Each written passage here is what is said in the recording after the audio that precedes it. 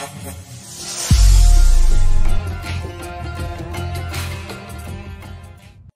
గణేశాయ నమ శ్రీ గురుభ్యో నమ. ఈ గ్రహం అనుగ్రహం వల్ల కటిక పేదవాడు కూడా కుబేరుడవుతాడు. రాబోయే కాలంలో ఈ గ్రహం వల్ల కొన్ని రాసుల వారికి రాజయోగం పట్టబోతోంది. మరి ఆ రాసులేంటో ఆ వివరాలేంటో ఈ వీడియోలో తెలుసుకుందాం.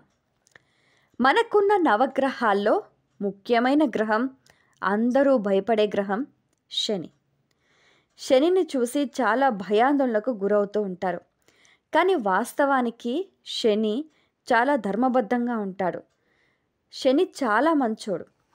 నిజం చెప్పాలనంటే అసలు శని గ్రహం ఉత్తమ ఫలితాలు ఇవ్వాలి అని ముందుకొస్తే అసలు ఉన్నతాసనంపై కూర్చోబెడతాడు.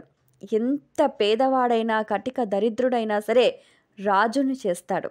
అంతటి శక్తి సామర్థ్యాలు గల గ్రహం శనిగ్రహం అయితే కాకపోతే శని బాగా పనిచేయిస్తాడు. శని పీడింపు నుంచి మనం తట్టుకోగలిగితే ఇక జీవితంలో తిరుగులేని విజయాన్ని అదృష్టాన్ని మనం సొంతం చేసుకోవచ్చు. రాబోయే ఐదు సంవత్సరాల కాలంలో కొన్ని రాసుల వారికి అదృష్టం పట్టబోతోంది. రాజయోగం సిద్ధించబోతోంది. మరి ఆ రాసులేంటో చూద్దాం.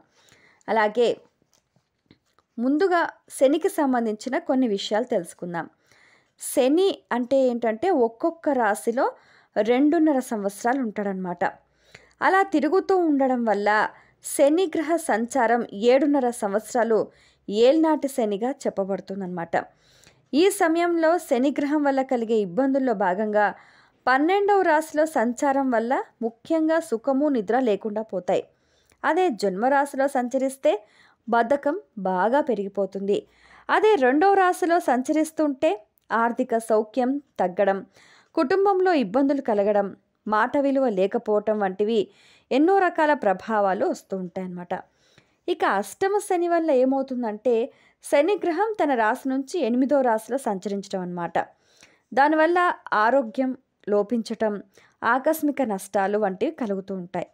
ఇక శని గ్రహం తన జన్మరాశికి నాలుగో రాశిలో సంచరిస్తూ ఉండటం వల్ల అర్ధాష్టమ శని అంటూ ఉంటారు. దీనివల్ల గృహ వాహన ఆహార సౌఖ్యాలకు దూరమయ్యే అవకాశాలు కనిపిస్తూ ఉంటాయి. అయితే వీటి నివారణకు శనిగ్రహానికి సంబంధించిన కొంచెం శాంతి చేసుకోవాల్సిన అవసరం ఉంటుంది. అయితే ఇప్పుడు మనం అసలు విషయానికి వచ్చేసరికి శని మకర రాశిలో ప్రస్తుతం సంచరిస్తున్నాడు. శనికి మకరం స్వక్షేత్రం. కాబట్టి తన జన్మస్థానంలో చాలా బలంగా ఉంటాడు. ఉత్తమ ఫలితాలను అందిస్తూ ఉంటాడు. అయితే శనికి సంబంధించి కొన్ని కొన్ని రంగాలలో పనిచేసే వారికి కూడా చాలా మంచి ఫలితాలు ఉంటాయన్నమాట. ఉద్యోగం చేసేవాళ్ళు వ్యవసాయం చేసేవాళ్ళు అలాగే వ్యాపారం చేసేవాళ్ళు వాళ్ళు అందలాన్ని అందుకునే సందర్భాలు కనపడుతున్నాయి. శనికి సంబంధించి mining construction depot refinery agriculture ఇలా కొన్ని కొన్ని రంగాలలో పనిచేసే వాళ్ళకి ఏంటంటే మంచి ఫలితాలు ఉంటాయన్నమాట లాభసాటిగా ఉంటుంది. అసలు భగవంతుడు అనుగ్రహించి ఈ గ్రహాలు మనకు సహకరిస్తే అసలు మన జీవితంలో అసలు వెనక్కి తిరిగి చూసుకోవాల్సిన పని ఉండదు భగవంతుడు ఇవ్వాలి అని అనుకుంటే కళ్ళు మూసుకొని రెండు చేతులతో ఇస్తాడు. కాబట్టి దాన్ని అందుకునే యోగ్యత మనకుండాలి. కాబట్టి ప్రతి ఒక్క వ్యక్తి కూడా తన ధర్మాన్ని తాను నియమబద్ధంగా పాటిస్తే భగవంతుడు సర్వదా కరుణిస్తాడు. ఏదో రూపంలో. ఇక మనం ఈ రాజయోగం విషయానికి వచ్చేసరికి యోగం అంటే కలయిక. ఒక రాజు ఒక ఆసనంలో కూర్చుంటే ఎటువంటి మర్యాద గౌరవం ఉన్నతి సంపత్తి కలుగుతూ ఉంటాయో అటువంటి యోగాలు కలిగే అవకాశం ఉంటుందన్నమాట. అంటే డబ్బు లేని వారికి డబ్బు వస్తుంది హోదా లేని వారికి మంచి హోదా వస్తుంది. వాళ్ళ కళలు సాకారం అయ్యే పరిస్థితులు కనబడుతూ ఉంటాయి. ఉదాహరణకు తులారాశి వారికి రాబోయే ఐదు సంవత్సరాల కాలంలో అంటే రెండు వేల ఇరవై ఒకటి నుంచి రెండు వేల ఇరవై ఐదు వరకు వారికి పేరు ప్రఖ్యాతలు అలాగే వ్యాపారంలో లాభాలు గణనీయంగా పెరుగుతాయన్నమాట. అలాగే మకర రాశి వారికి స్వక్షేత్రంలో శని తన ఫలితాలను సంపూర్ణంగా అందిస్తాడు. ఇక కుంభరాశి వారి విషయానికి వచ్చేసరికి కూడా మంచి సౌఖ్యాలు అందిస్తూ ఉంటాడు. లాభం ధనలాభాన్ని కూడా అందిస్తూ ఉంటాడు.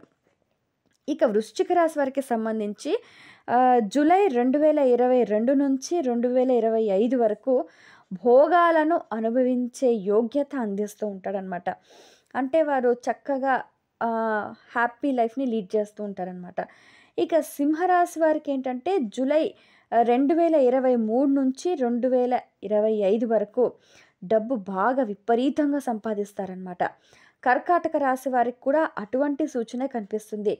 జూలై రెండు వేల ఇరవై ఒకటి నుంచి రెండు వేల ఇరవై ఐదు వరకు అసలు కన్ని విని ఎరుగని రీతిలో సంపాదన అనేది బాగా పెరిగిపోతుందన్నమాట.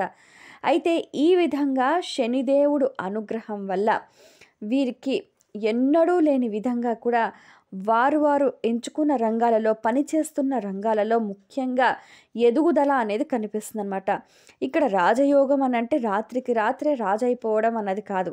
అంటే వాళ్ళ ఉన్న స్థితి నుంచి ఉన్నతమైన స్థితికి చేరుకుంటారు అని అర్థం అనమాట కాబట్టి శనిదేవుడి అనుగ్రహం మనం సంపూర్ణంగా పొందాలి అని అంటే ఈశ్వరారాధన తప్పనిసరిగా చేయాలి. ప్రతి శనివారం నియమాలు పాటించాలి. శనికి ప్రీతికరంగా నల్ల నువ్వులతోటి అభిషేకం చేయాలి. నువ్వుల నూనెతో అభిషేకం చేయాలి. అలాగే దీపారాధన చేయాలి. అన్నిటికన్నా ముఖ్యంగా శనిదేవుడికి చాలా ప్రీతికరమైంది ఏంటంటే ధర్మబద్ధంగా వ్యవహరించటం. ధర్మబద్ధంగా నడుచుకోవటం నిజాయితీగా ఉండటం అనేది శనిదేవుడికి చాలా ఇష్టం. కాబట్టి ఆ విధంగా వ్యవహరించండి. రాజయోగాన్ని అందుకోండి. ఈ వీడియో కనుక మీకు నచ్చినట్లయితే లైక్ చేయండి షేర్ చేయండి. మరిన్ని విషయాల కోసం మా ఛానల్ను సబ్స్క్రైబ్ చేయండి.